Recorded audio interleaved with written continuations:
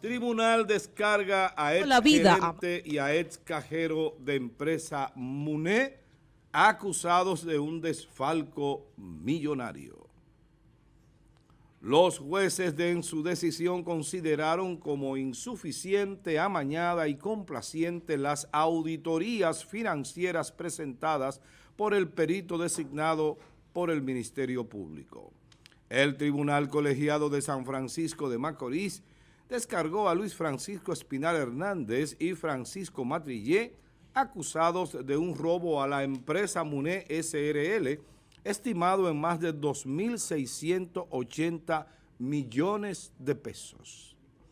El tribunal tomó la decisión al rechazar el dictamen del Ministerio Público que buscaba una condena en contra de Espinal Hernández y Matrillé, gerente y cajero respectivamente de la empresa MUNE SRL. Asimismo, el tribunal ordenó el cese de la medida de coerción que pesaba en contra de los imputados y fijó la lectura de la sentencia íntegra para el mes de septiembre. Además, sostuvo el tribunal que no se vio un rastreo de cuentas a los fines de ver dónde estaba ese dinero y que el Ministerio Público no presentó ninguna diligencia encaminada a demostrar el hecho imputado, que ni siquiera un allanamiento se les hizo.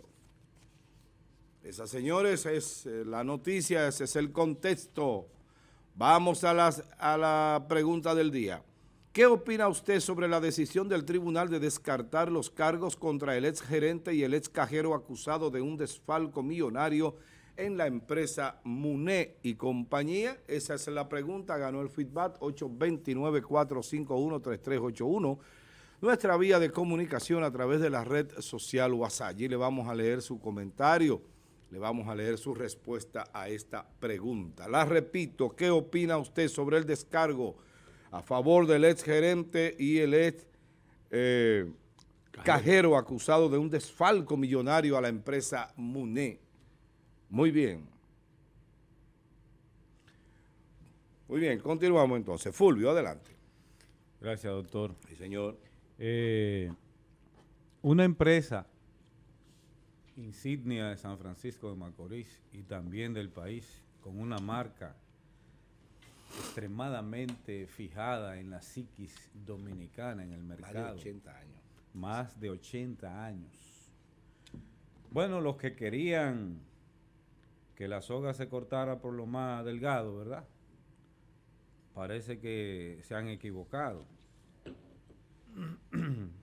hay muchas cosas que no se dicen, hay otras que se dicen. Pero señores, estamos hablando de más de 2.680 millones de pesos. Achacárselo al cajero, a, al gerente y al ex cajero, que esa, eso era lo que se pretendía. Entonces el consejo de esta empresa no sabía lo que estaba pasando. Entonces los dueños de esta empresa tampoco sabían lo que estaba pasando. Que llegaron a esta suma, a más de 2.680 millones de pesos, de personas que pusieron toda su confianza en esta empresa, todos sus ahorros, inclusive personas con enfermedades comprometidas, muy, muy delicadas, decidieron poner sus ahorros ahí porque le daba ciertas ventajas comparativas en materia de interés mensual con los bancos eh, comerciales y quedar así. Bueno, el proceso empezó a seguirse, empezó a darse y ya hoy vemos que el tribunal descarga a ex gerente y ex cajero. Concluyo diciendo, doctor, que en nombre de todas aquellas personas afectadas, quisiera que esto llegara a un final feliz, especialmente para ellos, con la garantía que debe de dársele a los ahorrantes. Muchas gracias. Bien, gracias, Fulvio. Ramón. Bueno,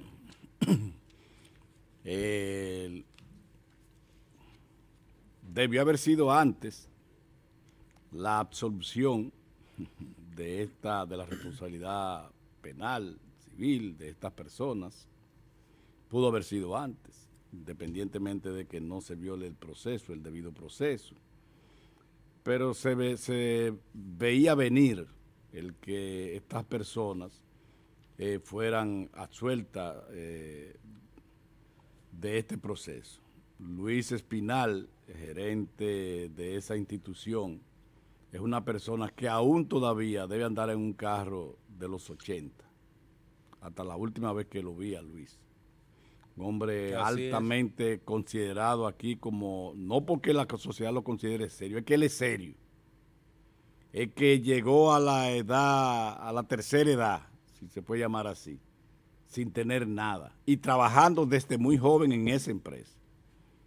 De forma que solamente yo creo que en este país es capaz de, de retener, de apresar, de llevar un proceso contra una persona como Luis en su propia comunidad que lo conoce hasta... Yo me imagino lo que le costaría al Ministerio Público tener que elevar una acusación contra Luis Espinal eh, por el cumplimiento de su responsabilidad y su competencia como Ministerio Público, como fiscal. Pero tener que decir lo que probablemente tenga que en, su corazón no sienta, no es cómodo. Pero también me llama poderosamente la atención el hecho de que después de, de Muné, Mantequilla está preso. El que prestó, el que cogió dinero, que creo que fueron 160 mil dólares o millones de pesos en dólares eh, para hacer el mismo negocio de mantequillo, que, porque entonces se meten a evangélicos de una vez de que están robando. No, sé qué, relación hay. Ha sido siempre muy económicamente pero importante vender el cuerpo de Cristo. Coño, pero a, esos niveles no, entonces... Pero el nombre de mantequilla indica que es rebaloso. Que es rebaloso, pero manejó cientos de millones de pesos. Lo que te quiero decir es, mira, eh, Ramoncito Báez, hizo cinco años preso, claro, diez. años. La diferencia eh, es muy marcada. Esto era un banco regulado por la superintendencia de banco. Esta era una institución dedicada a comprar, a mercadear con el cacao, exportación de cacao, que recibía dinero en depósito. Siempre dije que es un proceso mal llevado el hecho de que se quiera involucrar, que el gobierno asume esa responsabilidad. Es imposible. Porque esa institución no estaba no está regulada ni estaba eh, eh, consignada en sus responsabilidades y competencias económicas la de, la de recibir dinero en depósito. Ahora, también hay que llamar la atención dónde estaban impuestos internos. Bueno. ¿Dónde estaban impuestos internos? y no solamente, perdón, Amado, de los 2.600 millones de pesos. Señores, aquí ingresaban 25 millones de pesos mensual de intereses que se pagaban, que se movía en la economía. Después del, del atraco de Muné a esa a esas familias, a esas personas, aquí la economía, el movimiento, la, liquidez, el circulante disminuyó significativamente. Bien, eh, miren, el, tema MUNE tiene varias aristas. Lo primero es que esta, esta acusación en contra de Luis y de... que yo no creo que sea tan honrado como tú dices, y te, lo voy, te voy a decir por qué. Eh, el tema de, de Luis y de Madrillé, en realidad fue una distracción. La empresa sabía desde el primer momento que eso no iba para ningún lado porque no tenía explicación. La misma explicación que tú diste es la explicación más lógica o la que más se acerca a la lógica. ¿Cómo es posible? Ahora, ¿qué pasó? Dos ventajas tuvieron. Eh, primero, primero, una, una cercanía con el Procurador General de la República de entonces, que tiene la, tenía, tiene o, tiene o tenía la familia Muné, y eso puso un stop, un stop, para que se investigara correctamente y a fondo el tema de Muné. ¿O tú no crees que eso ameritaba que la Procuraduría General de la República, frente al escándalo, preparara un equipo de investigación de la Procuraduría y lo mandara a Macorís a investigar o ayudar en la investigación? Claro que sí, pero Jean Alain paró eso y lamentablemente la Fiscalía se plegó a esa solicitud de Jean Alain. Yo te lo digo porque a mí una vez Francisco Domínguez, en un caso de, que involucraba al, bueno, que fue el caso del síndico de las terrenas, me llamó y me dijo, aguántame ese expediente ahí que no me conviene ahora. Digo, sí, está bien, yo lo voy a aguantar. Pero no eternamente. A las dos semanas, cuando yo vi que no había ninguna respuesta, le di para adelante y después viene a quejarse conmigo. Digo, no, pero ven acá, ¿qué tú querías? Que yo me echara encima medio pueblo que están pidiendo que hagan algo con el alcalde de, de la terrena para que tú resuelvas. No, Francisco, yo a eso no llego. Yo te doy una oportunidad, te di dos semanas. Si tú no pudiste resolver los problemas que tú querías resolver con esto, yo te di dos semanas. A las dos semanas me lo llevé, le di para adelante y tuvo preso, creo que lo destituyeron, ese, alcalde de ese momento. Y eso lo hice yo. Ahora, ahora, ¿qué pasó? El procurador, el procurador Jean Alain no quiso. Se permitió este, esta distracción con la finalidad de sacar, de ir olvidando un poco el tema de quienes real y efectivamente se robaron los 2.600 millones de pesos. Muné y, compañía, y compañía tiene dos momentos en su historia como empresa. Un momento, un primer momento, que es el momento donde Trifón Muné estuvo al frente de esa empresa. Pero cuando vinieron los hijos y los nietos, las cosas cambiaron. La mentalidad cambió. Y ese proceso de descapitalizar a Muné, Muné, eh, y, fue se creó otra compañía con el nombre Muné y Compañía. Esta era Muné y Compañía. La vieja, sí. Aquella era Muné. Creo que Muné, CRL, una cosa así. ¿Cuál era la finalidad? Descapitalizaron esta, que era la que tenía los cuartos, y dejaron que el lío explotara, y capitalizaron aquella otra. Eso estaba totalmente claro.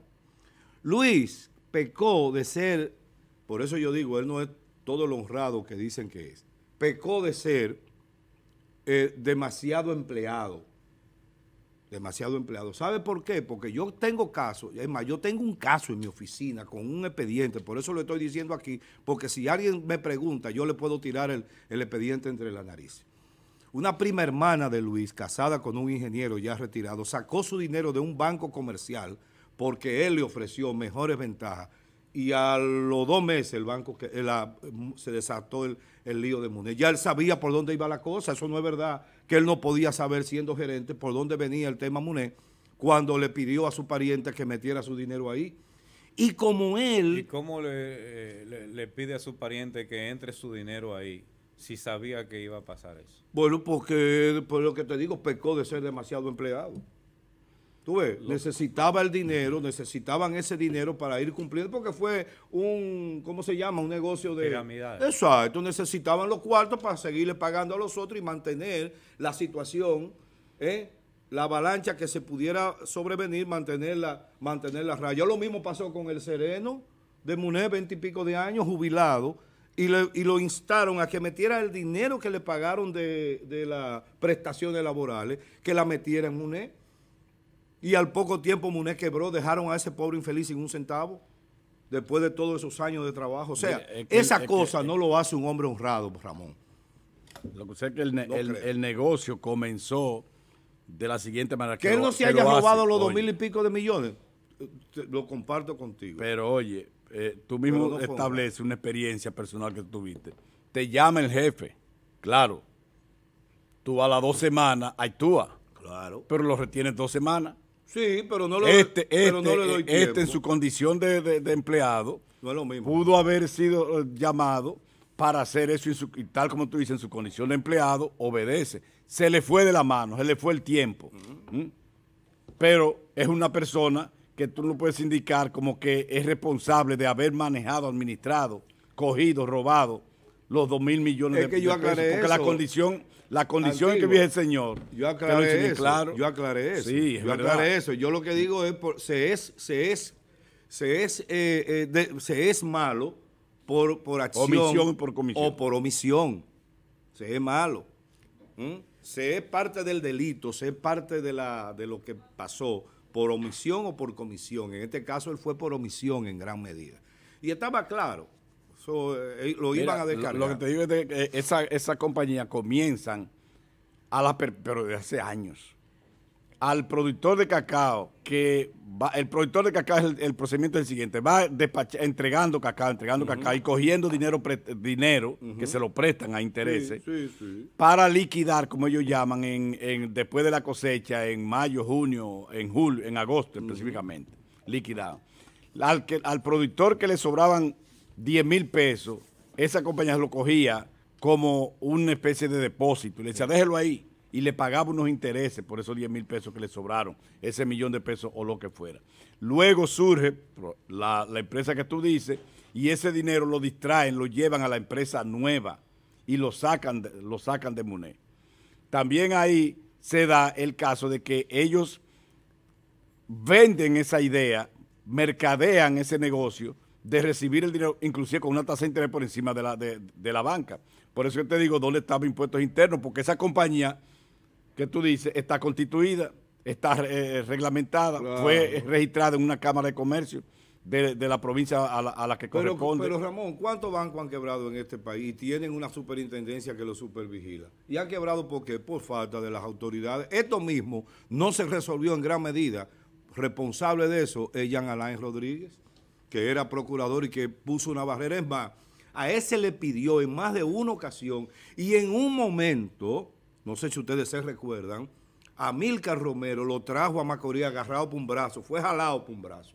Y se reunió con quién, con dos o tres gente, que ni siquiera fue al Palacio de Justicia, el procurador, vino a Macorís, invitado por el senador, traído, jalado por los moños por el senador. Y eso no pasó de ahí. Se reunió con dos o tres, se reunió con, con José Tejada, se reunió con dos o tres gente y ya, pero no se reunió con los que verdaderamente tenían el interés de que lo de Muné, eh, o que era prácticamente de vida o muerte que lo de Muné se resolviera, porque era lo único que tenía, era lo único que tenían. Oye, esa es la realidad. Lamentable. Bueno. Ahora, una realidad tangible es que está con nosotros Carolina. Buenos días, Buenos días, Carolina. amado José Rosa. Buenos días, Fulvio. Buenos Buenos, días, días, a Ramón. El sol radiante desde mañana. Buenos La días, única rosa Me entre salió espinal. ¿eh? Entre espinal, la única rosa. No, no. Tenga cuidado. Felicitarlo ¿En usted me está cada- metiendo? Felicitar Gracias, a cada uno de Carolina. ustedes en el día de ayer. No, y a Fulvio, Y a y a Ramón. Fulvio, sí, sí, a cada uno, pues felicitarlo en el Día de los Padres y a toda la gente que está con nosotros. Y, a las mujeres que hacen la veces de padres. Sí, Ay, sí. sí. Que hay muchas. Hay que muchas. son muchas. Muchas Ay, sí. madres. Sí, este es, un, este es un país prácticamente de... Hay un porcentaje muy alto de hogar- 27. hogares monoparentales. 27. Ya tú te imaginas. Sí, y 27. la desvinculación que muchas veces se dan los caballeros hace que sea más difícil el tema. Pero Muchas veces felicidades porque a se van buscando el sueño americano, otras porque se, se desentienden. Carolina, adelante Bueno. con el tema. Tú sabes de qué estamos hablando, Sí, tú conoces la noticia, adelante. Eh, miren, la verdad que cuando, de hecho se lo iba a enviar a ustedes, cuando veía la información de la descarga de, de estos ex, ex empleados de la compañía MUNED, no me sorprendió tanto, porque de principio se entendía que estos caballeros eh, no tenían esa culpabilidad de lo que estaba pasando en ese momento. Eh, se le tildaba de que el quiebre de la empresa y de lo que pasó con los ahorrantes de MUNE, ellos habían sido básicamente los responsables.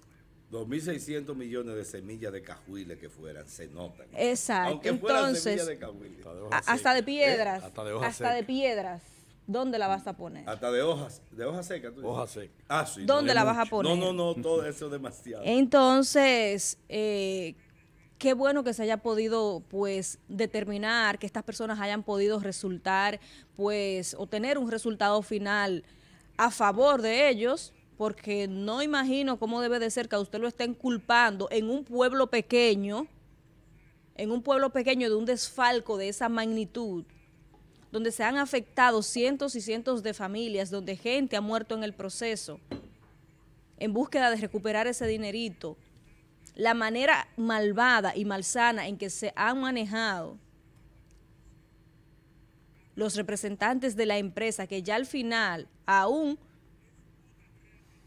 o desde el principio, sabiendo que han debido de buscar la manera de entregarle de la forma menos impactante o menos que, le afecte de la manera menos posible a estos ahorrantes, porque ya perdieron parte del dinero, han buscado todas las artimañas para seguir lacerando la vida económica de gente que todos los frutos... Hay historia desgarradora, eh, Carolina. Hay gente que decía, yo estos chelitos yo los utilizaba para la medicina de un hijo Totalmente. que, tengo, que es paralítico. Que y otros que se han muerto en el proceso de espera y de búsqueda de recuperar una parte. No van a conseguir, bueno, lo que le están dando. Un no, y esos benditos acuerdos. Un 12 puntos, un y esos benditos acuerdos. Yo estoy. ¿Tú sabes lo que es? Eh, hablando con el profesor William Hernández, eh, para ver si lo podemos llamar más adelante, que ha sido uno de los involucrados eh, de manera muy activa en todo este tema para escuchar su opinión. Entonces, ante todo esto, me da mucha satisfacción que estas personas pues ya hayan podido cerrar este capítulo de su vida. Eh, mucha gente los tildaba y entendía que, o entienden que son, o que, gente seria, que no habían cometido esto de lo que lo acusaba la empresa. Usted se imagina una cosa así, señores, pero no solo eso el peso, amado. Es que cuando tú anduvieras, o cuando tú andes en tu pueblo, porque al final queda la duda en el fondo, todo el mundo te va a mirar. No, no, pero eso es Este fue el que le llevó los cuartos a fulano. Mira, esto. Yo no quisiera verme en los zapatos de, Luis Espina. ¿Sabe por qué? Porque independientemente de todo, mira, con él, ha sido, por él ser demasiado empleado, fue demasiado empleado. Sea, y eso, eso fue lo que le, hizo el daño. Perdió todo lo que había acumulado en su vida.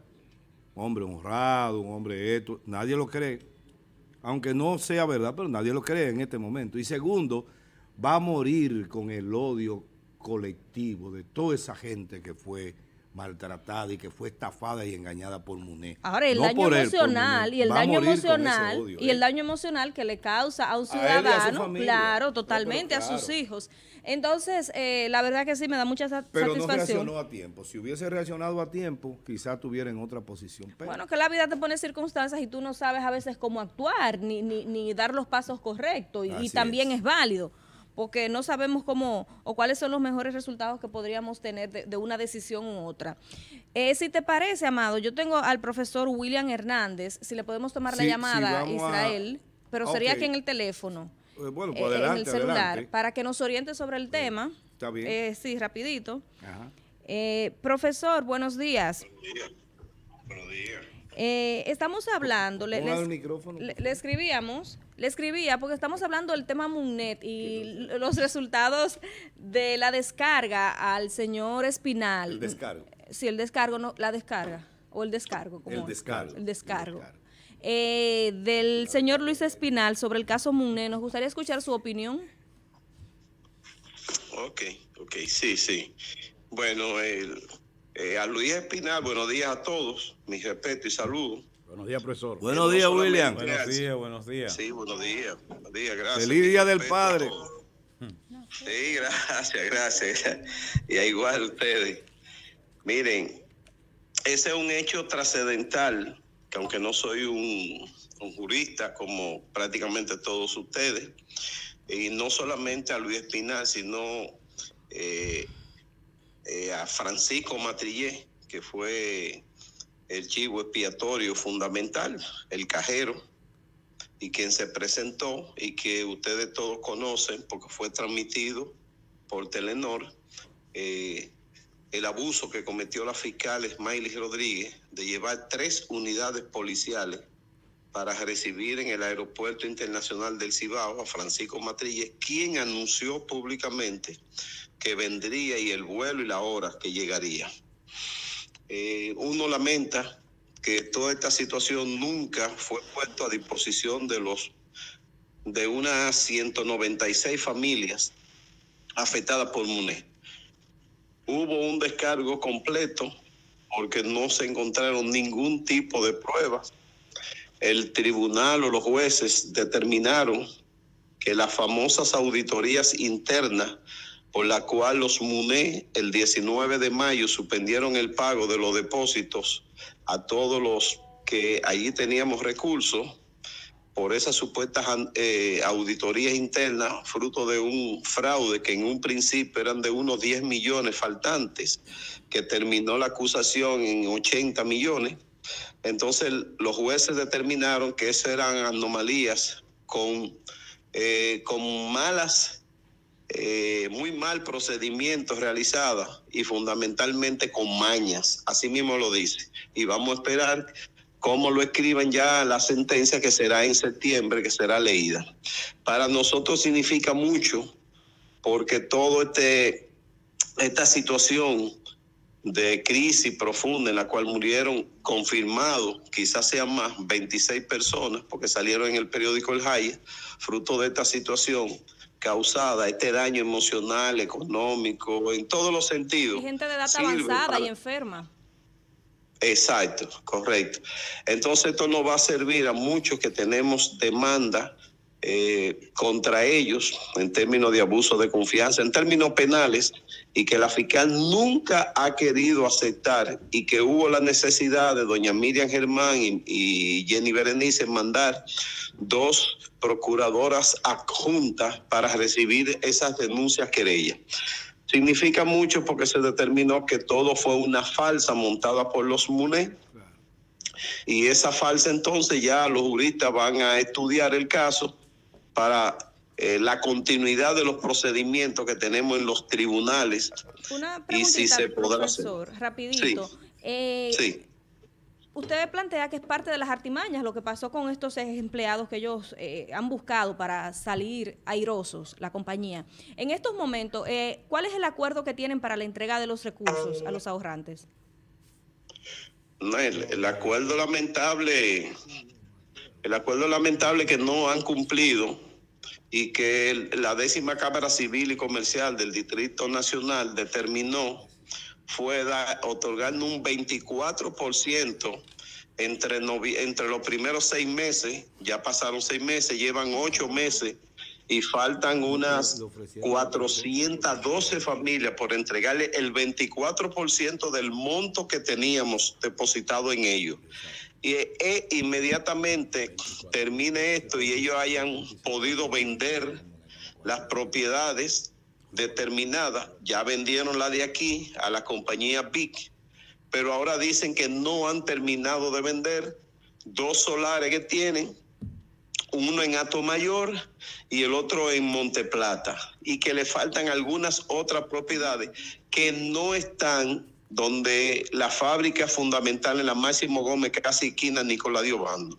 Entonces no se sabe cuándo van a devolver otro 17%. Ellos no devolverían eso y se quedarían con el 58.36% de los recursos y no van a devolver ningún interés de los últimos tres años y meses. O sea que ellos se quedarían, ellos se quedarían nos pagarían a nosotros con los intereses que debieron pagarnos durante estos casi cuatro años, estos casi cuatro años, y se quedarían con el monto total que el tribunal determinó, que fueron 2.700 millones de pesos depositados a ellos. gracias, gracias profesor, muchas gracias.